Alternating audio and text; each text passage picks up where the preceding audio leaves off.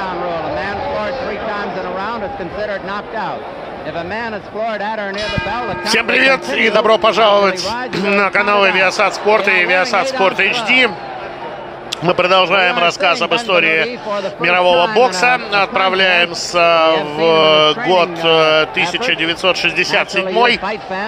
17 апреля, Мэдисон Сквер Гарден в Нью-Йорке и э, бой за звание чемпиона мира в э, категории middleweight.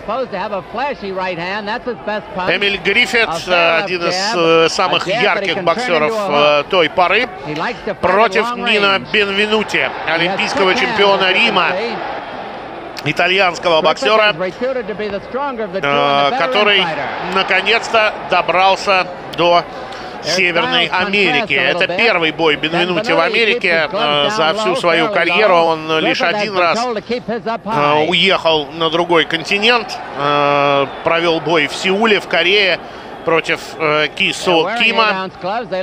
Э, Причем этот бой э, проиграл. Но это была другая весовая категория.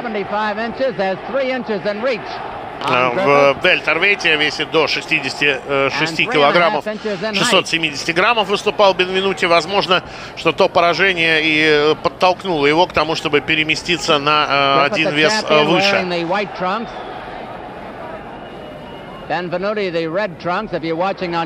Кстати, любопытно, что карьера Кису Кима будет продолжаться еще достаточно долго. Э, Так называемый супер вельтервейт титул э, будет ему принадлежать. И отберет его у корейца другой итальянский боксер Сандро Мазинги. Но это уже тема какого-то, э, наверное, другого разговора.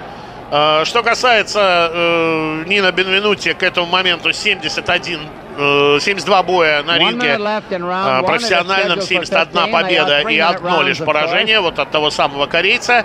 У Эмиля Гриффита 52 победы, 7 поражений. Эмиль Гриффит э, достаточно нестабильный боксер.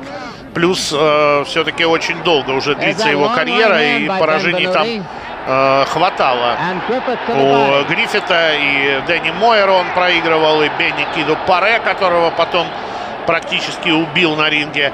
Луису Мануэлю Родригесу, Робину Картеру, Мануэлю Гонсалесу, Дону Фулмеру.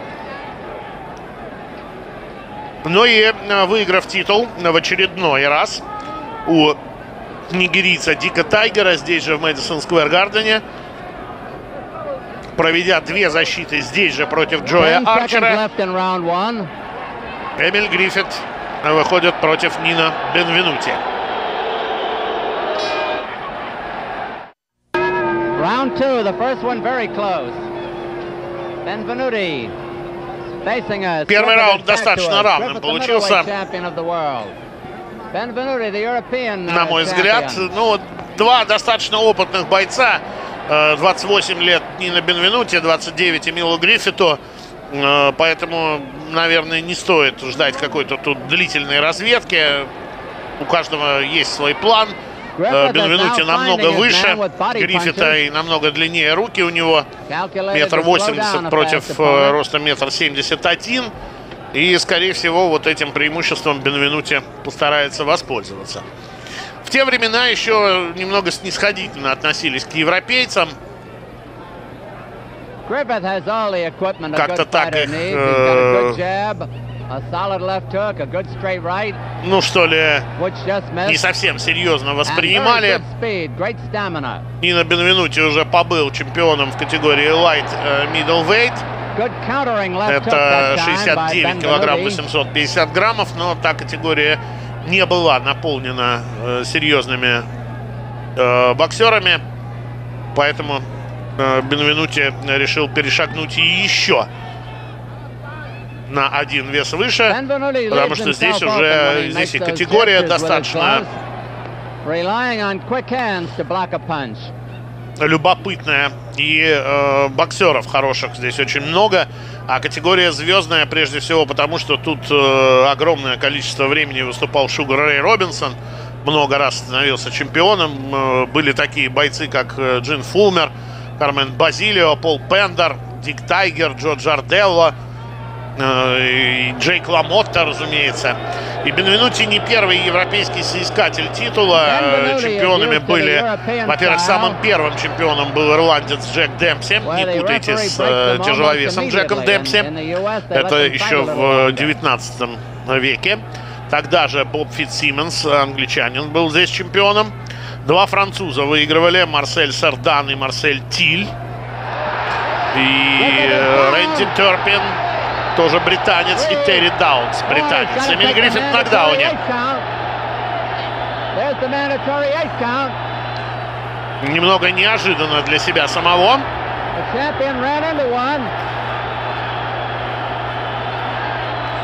Но возможно, что Гриффит тоже э, поддался такому всеобщему настроению. Мол, что это за европеец, тем более итальянец. Ну, итальянских чемпионов в те годы было крайне мало. There's a cut on the bridge of Benvenuti's nose. There's the bell. Round three coming up. The second, a big round for Benvenuti because of the knockdown. Марк Кон, рефери этого боя, Эл Берл и Лео Бирнбаум подсчитывают очки за пределами ринга.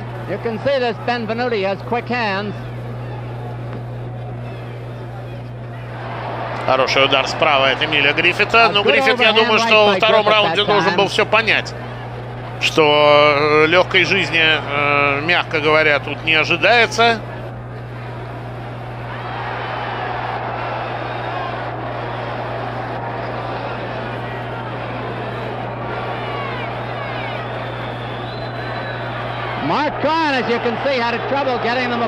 И что выкладываться ему придется по полной программе здесь.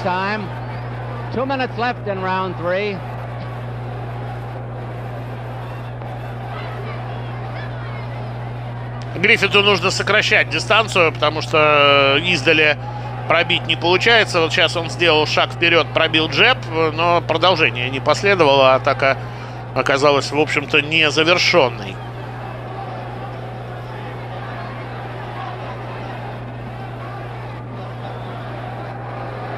This may not be a stylish fight, but it certainly is a rough one.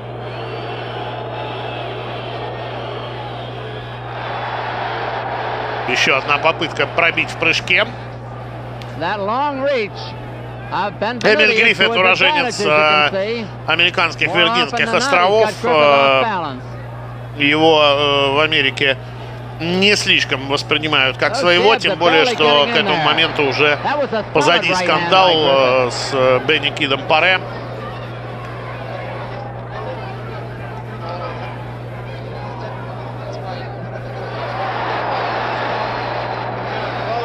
Я напомню, что перед вторым их боем э, Паре во время взвешивания. Э, ну, не то чтобы обвинил, обвинил не то слово, да, но намекнул на то, что Эмиль Гриффит является представителем сексуального меньшинства. На его ориентацию намекнул, стал дотрагиваться до него, употребил на испанском языке слово, которое максимально цензурно можно перевести как педик. Э, драка э, чуть не случилось прямо там на взвешивании, но а затем Гриффит э, выиграл бой и Паре больше никогда не пришел в сознание и умер спустя несколько дней.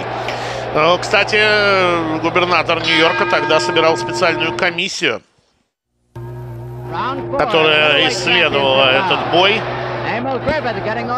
и которая признала Эмиля Гриффита виновным в том, что произошло, хотя э, здесь, э, в общем, конечно, больше вина, наверное, должна была быть на судьях, чем на Эмиле Гриффите. История, кстати говоря, вернется в 1992 году, когда Эмиль Гриффит будет уже старичком. Ему будет за 50, и э, его изобьют в Нью-Йорке после того, как он э, вышел из гей-бара рядом с э, автобусной станцией Порт Authority. Некоторое время придется ему провести в больнице. Э, четыре месяца после этого. Так, Бенвенути на канатах.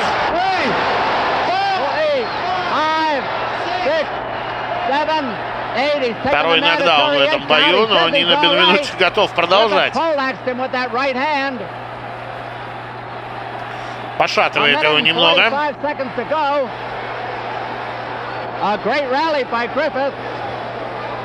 Хорошая очень атака от Эмиля Гриффита. И главная задача Бенвенути сейчас просто достоять до конца раунда. Гриффит торопится. Идет в атаку и не попадает.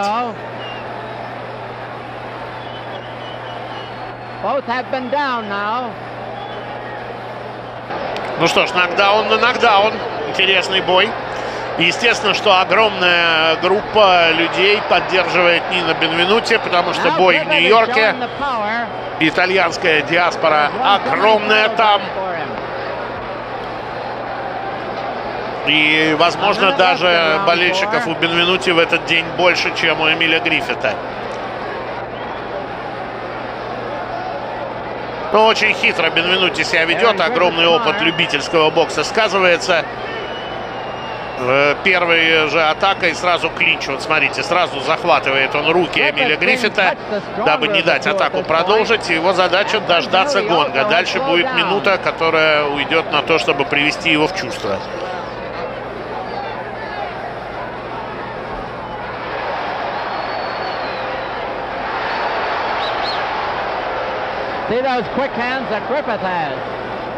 Ну, у Гриффита тоже очень быстрые руки.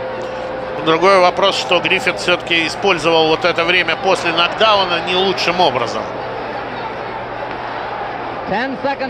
10 секунд всего лишь остается в раунде.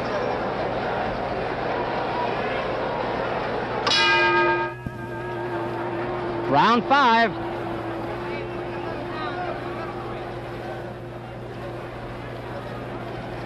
Ну и вот теперь уже фрагменты пятого раунда мы смотрим. Бенвенути пришел в себя, по всей видимости. He caught Benvenuti with his gloves down, which is a dangerous procedure. Got them a little higher now. Benvenuti still dangerous with that right hand. Из клинча Бенвенути пробивает апперкот и, кстати говоря, попадает. Пусть не очень сильно, но попадает. How long it will go is problematical.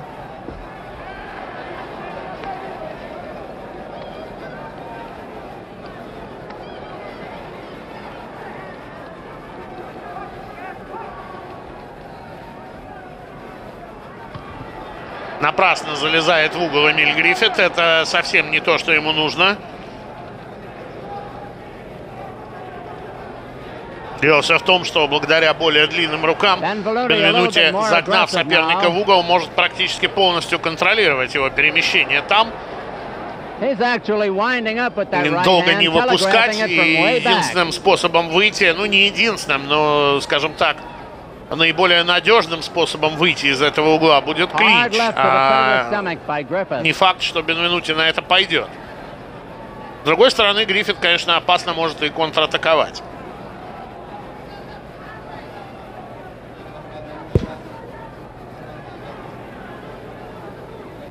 Griffith, who was in command, seems to be letting Benvenuti take the play away from him. A minute left in round five. Замечание Гриффиту. Ну, за удар после того, как э, рефери остановил бой. В этом положении действительно носить удар нельзя. Маркон достаточно внимателен.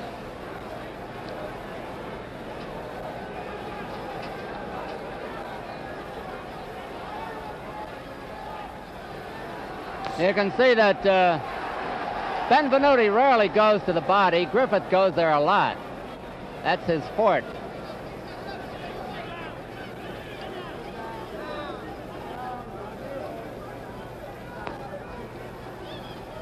Немного такой сумбурный характер принял бой после этих двух нокдаунов.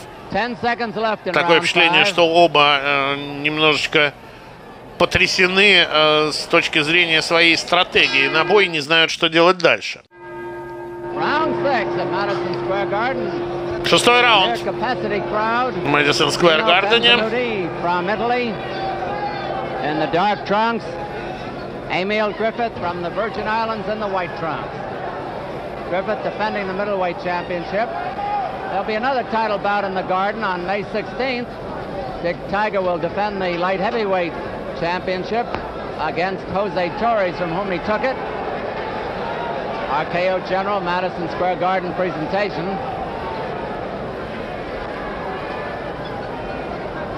Огрызается так из оборонительной стойки Эмиль Гриффит сейчас. Не более того. And an overhand right by Griffith decked Benvenuti in the fourth round. Likewise, a mandatory eight count. Benvenuti was Неожиданный такой и сильный достаточно удар с правой. У Нина Бенвенути прошел снизу. Не совсем апперкот, но такой косой мимо руки Эмиля Гриффита.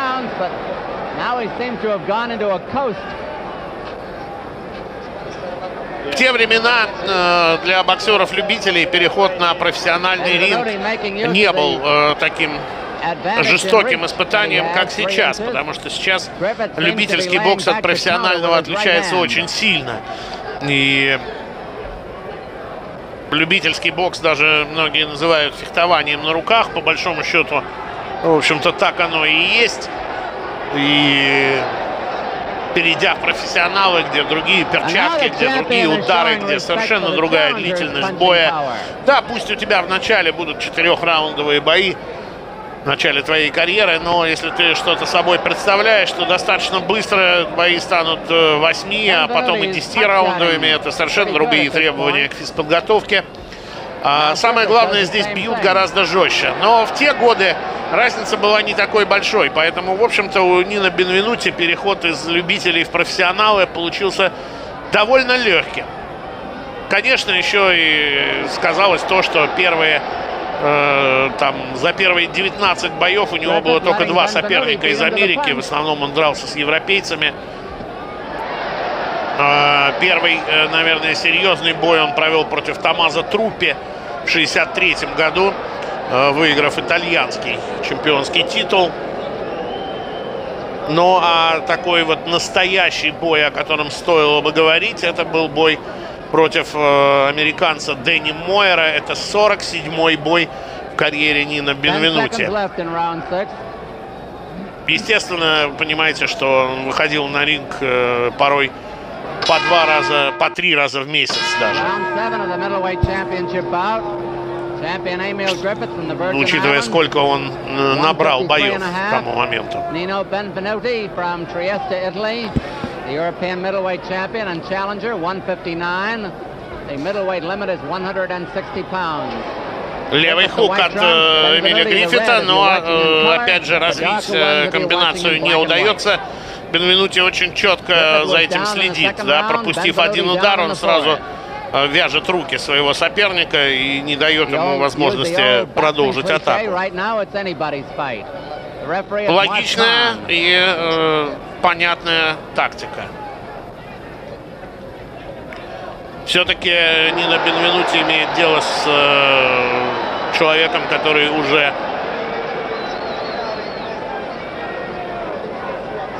является чемпионом мира. И каким бы он маленьким не, не был по сравнению с самим Бенвенути, а уважение Эмиль Гриффит заслуживает совершенно точно.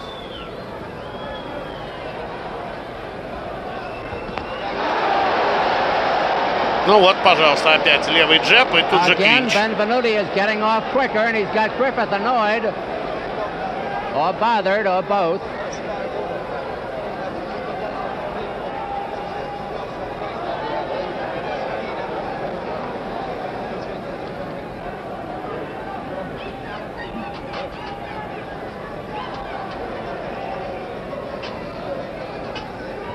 Три раза в итоге они встретятся за достаточно короткий период времени.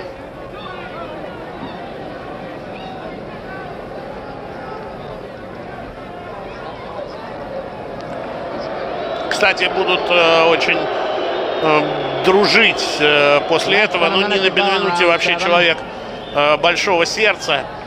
Э, мы привыкли, что достаточно много боксеров с итальянскими именами. Рокки Марсиано, Рокки Грациани.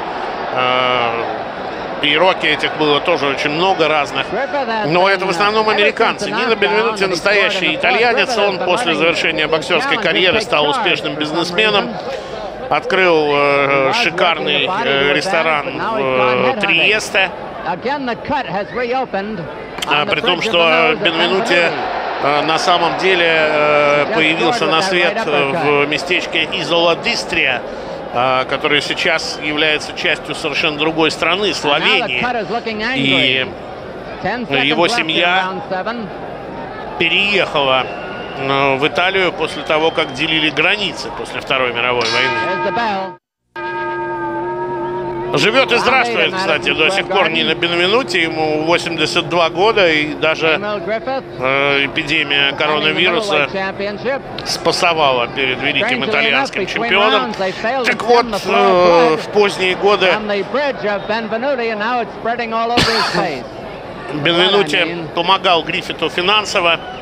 Э, Гриффит э, стал э, крестным отцом одного из сыновей Нино.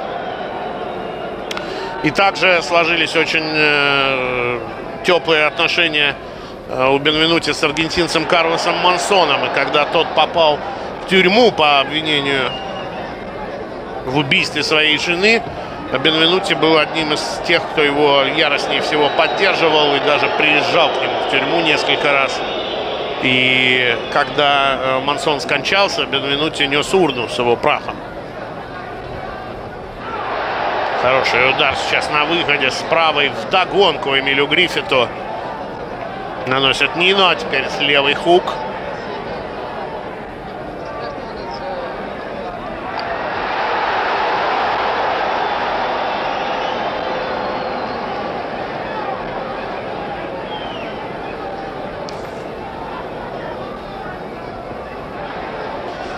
Америка не очень обратила внимание вообще на появление ни на Бенвенуте.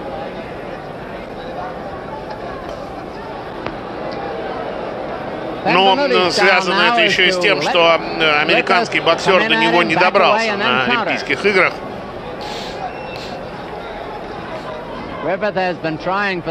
Фил Болдуин там представлял Соединенные Штаты Америки, но проиграл в четвертьфинале британцу Джимми Ллойду.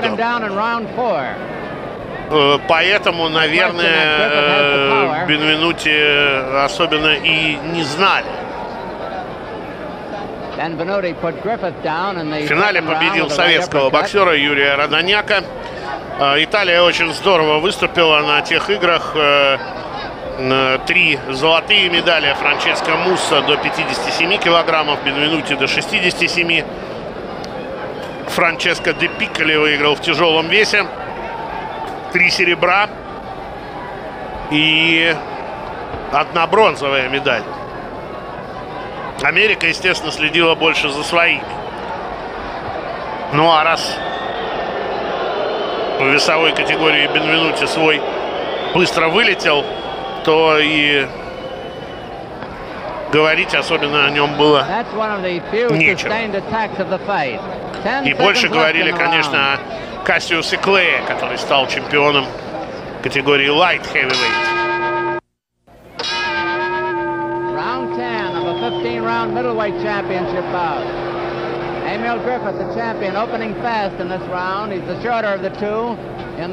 Десятый раунд, немножечко переместились мы вперед по этому бою, но мне кажется, что э, вот пока э, чуть-чуть впереди должен быть Бенвенути.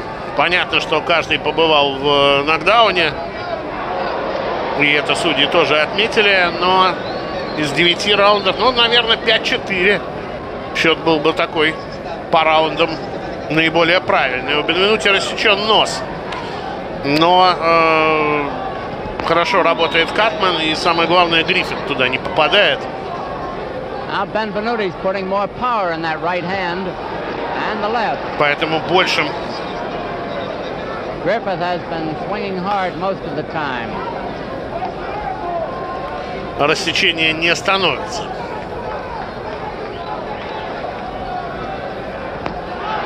Хороший удар справа и от Нина Бенвенути. Гриффит э, неверно оценил дистанцию в этой ситуации. Он был спиной к канатам, и, по всей видимости, он не ждал удара.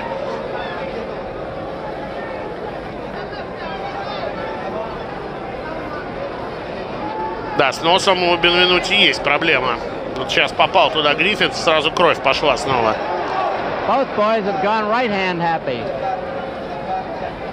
Боксировать-то еще достаточно долго. Так что Бенвенути стоит это взять во внимание. Этот момент. Хороший удар с правой под канатами.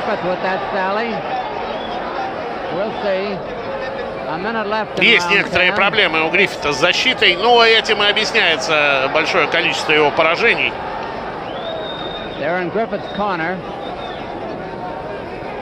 Не будет сильным преувеличением сказать, что абсолютное большинство своих боев Эмиль Гриффит выиграл в атаке мастером защиты он, по большому счету, никогда не был. И даже где-то повезло Эмилю Гриффиту, что э, появился он как серьезная фигура в этой весовой категории, когда уже ушел Шугар Рэй Робинсон. Естественно, уже не было никакого Джейка Ламотте. Но все равно Дон Фулмер, Робин Картер – это вот, э, если бы не э, тюрьма, в которой оказался Робин Картер на 20 с лишним лет, то вполне возможно мы бы увидели рематч между ними. Еще неизвестно, чем бы он закончился. А так-то Робин Картер Эмиля Гриффита нокаутировал в первом раунде. И Дон Фулмер, который когда-то проиграл Гриффиту в 62 году, в 65-м взял реванш у него. Both have been down. Griffith in the second round, Benvenuti in the fourth. Benvenuti was the more hurt of the two. Both took a mandatory eight count.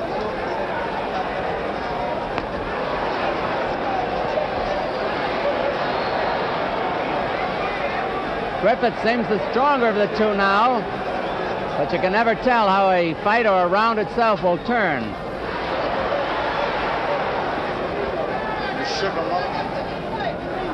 Снова на выходе э, пробил своего соперника и попал Нина Бенвенути. Two minutes left in round 11.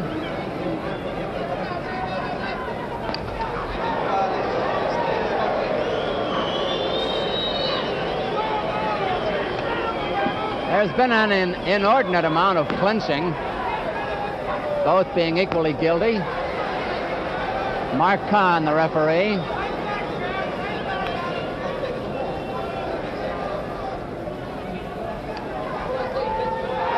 И сейчас хорошая комбинация от Нина. Большую э, концентрацию он сохраняет и большую собранность.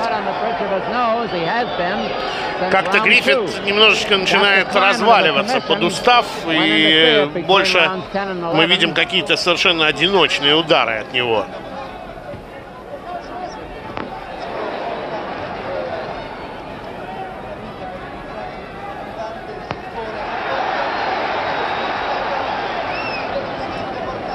One minute left in this round. Одна минута остается.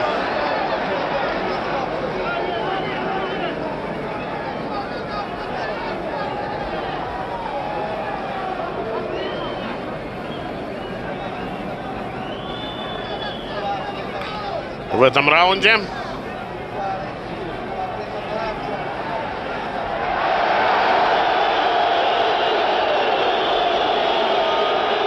Griffith is warned for unnecessary roughness.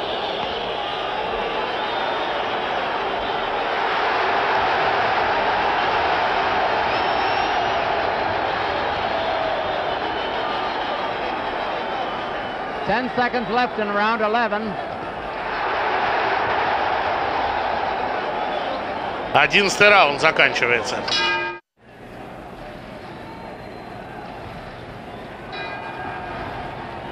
Here's round 12.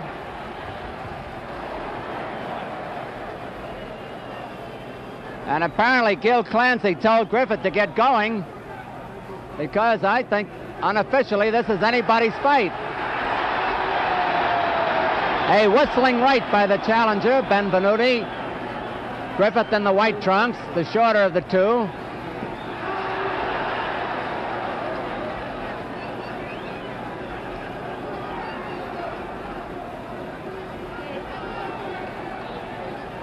Ну что ж, решающие раунды, учитывая, что бой э, достаточно близкий, э, они, конечно, приобретают особое значение. Э, никто из боксеров не может быть на 100% уверен, что он подходит сюда, лидируя по очкам.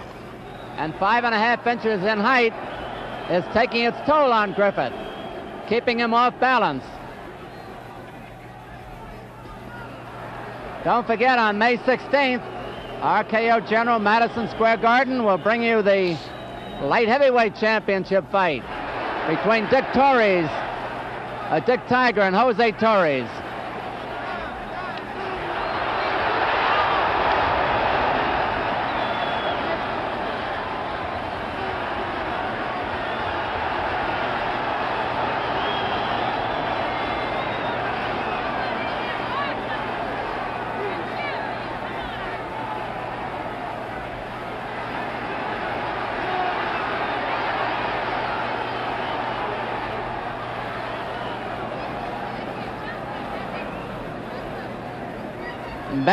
Все чаще приходится Марко Конну вмешиваться, потому что кличей много.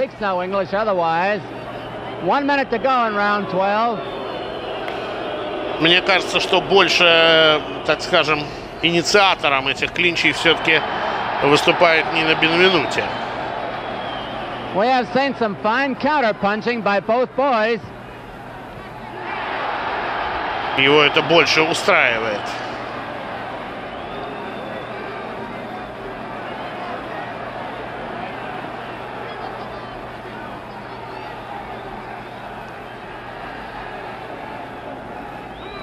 Не очень сильный левый хук пропустил сейчас Бенвенути и снова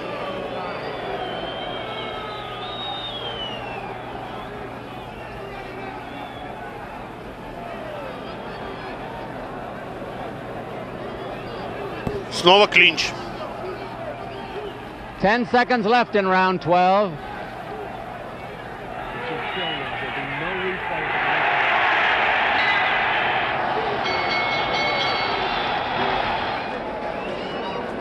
13 раунд. Round 13. Defending the middleweight championship in the white trunks, Emil Griffith from the Virgin Islands. Летит вперед Эмиль Гриффит. Nino Benvenuti from Trieste, Italy, the challenger, the taller of the two, 159. And I'd say the title is on the line.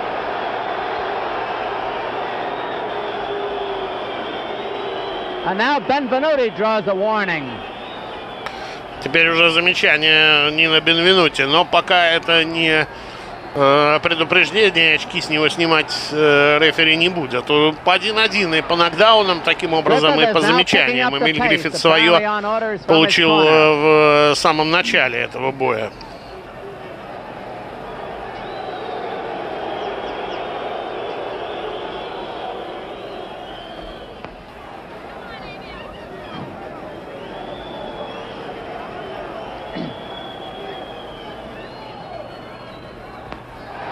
Хорошая комбинация от Бенвенути. Продолжает он ее. И вот уже усталость э, начинается и у Эмиля Гриффита. Гриффиту на самом деле нужно было э, в этот момент не пятиться назад э, в канаты, а наоборот сближаться с Бенвенути и пытаться клинчевать, вот как сейчас. Главное не дать ему провести затяжную атаку. То, что он пропустил один-два удара, это не так страшно. Но там-то Бенвенути нанес не меньше пяти. И э, судьи это, конечно, зафиксировали. Если раунд э, не подарит нам ничего более интересного, то победу в нем отдадут итальянцу. Видите, уже появление цветного телевидения и начинают уходить боксеры от традиций, когда один в белых трусах, другой в черных трусах. Сейчас уже вообще чего только не увидишь, каких только расцветок.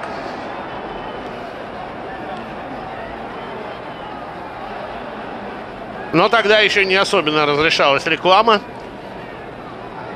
Удивительная история Макса Бера, который еще в довоенные годы выходил с шестиконечной звездой на бой против Макса Шмелинга.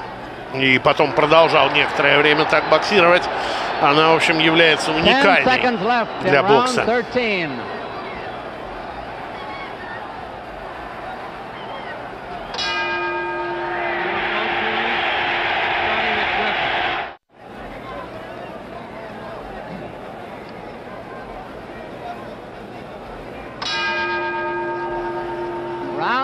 Round 14. As you saw, Griffith went tearing out there. Another warning to Benvenuti by Mark Kahn, the referee.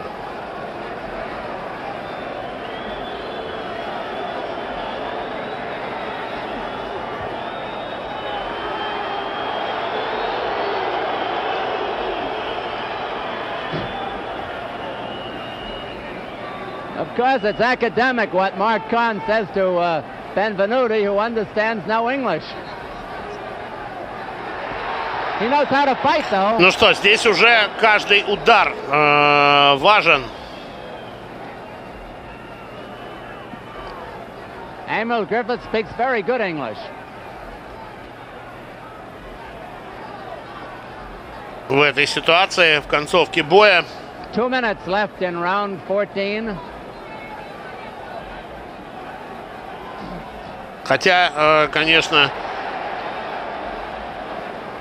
правила выставления очков в профессиональном боксе, э, они уже не разделяют концовку и остальной бой. Э, когда-то были оценки, выставляемые по впечатлениям. В любительском боксе это, кстати, еще достаточно долго продолжалось.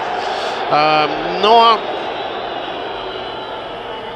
прежде всего наверное, публике.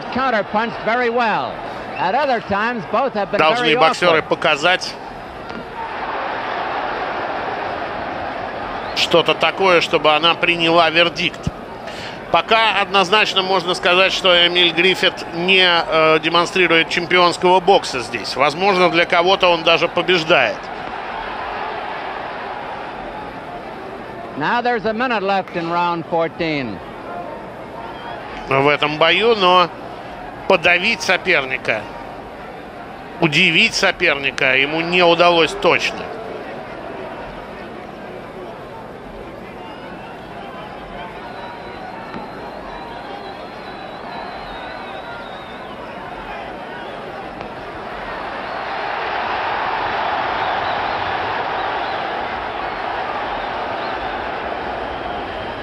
Griffith is not fighting his fight now. He's lunging in there.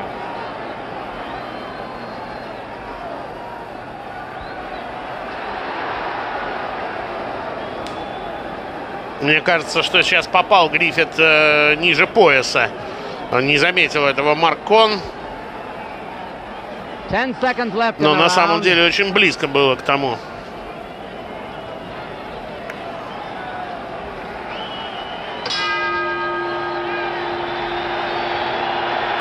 Держится у нас Бенвенути. Разбит он еще был в девятом раунде, но никаких проблем в итоге не испытал итальянец. С этим рассечением. Ну что, последний 15 раунд. Another Italian uh, middleweight challenger was winning a title in the 15th round against Jake LaMotta. Tiberio Mitri that was, and Jake knocked him out. Да, ну и вот э, комментаторы американские вспоминают, что Джейк Ламотта в свое время, проигрывая по очкам Тиберио Митри, сумел его нокаутировать в 15 раунде. И Тиберио Митри, кстати, был итальянцем.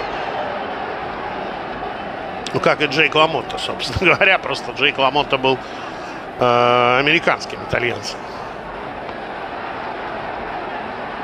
Ну, такой размен с дистанции, который абсолютно устраивает Бенвенути, потому что э, если Гриффит подошел к нему и попал, то Бенвенути главное успеть нанести ответный удар и таким образом устроить размен. Просто летит вперед Эмиль Гриффит, абсолютно нет попыток зайти справа или слева, он просто прыгает вперед на Нина Бенвенути. Это очень просто. Of the two knockdowns, Напоминаем, что два нокдауна было по одному у каждого.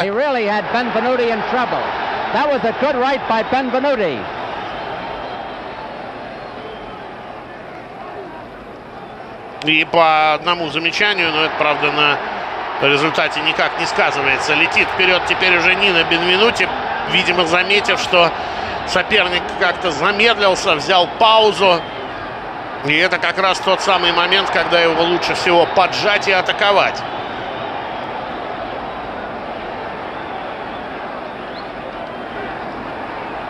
One minute left to go in the fight.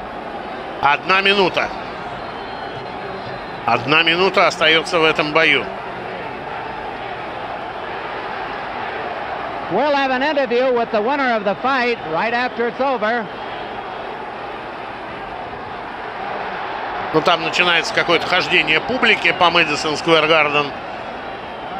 Я думаю, что очень многие из тех, кто присутствует, делали ставки. И сейчас за них волнуются.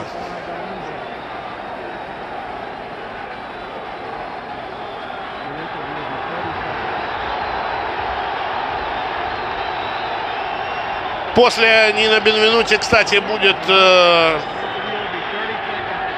еще два итальянских чемпиона э, в этой весовой категории. Ну, один из них итальянец будет, конечно, весьма условный. Э, Сум, Патрицио Сумбу Каламбай, родившийся в Конго. Второй зато будет совершенно настоящий Вито Антуо Фермо. 10-5 в пользу Бенвенути от Лео Бирнбаума. Маркон 10-5 в пользу Бенвенути. Эл Берл 9-6 в пользу Бенвенути. Таким образом, к восторгу большой части Мэдисон Сквер Гардена. Именно Нина Бенвенути становится чемпионом мира. Unanimous Decision, объединенное решение арбитров.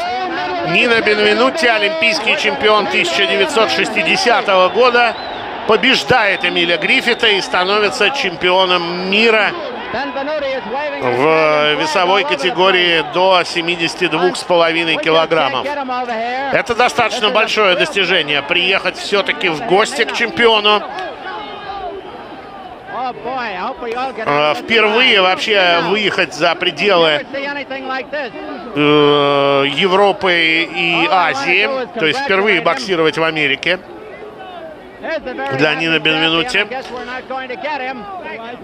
Действительно серьезное достижение. Тут пытается полиция навести порядок, потому что в ринге, естественно, э, слишком много народу. Тут какая-то толкотня. Ну, так бывает.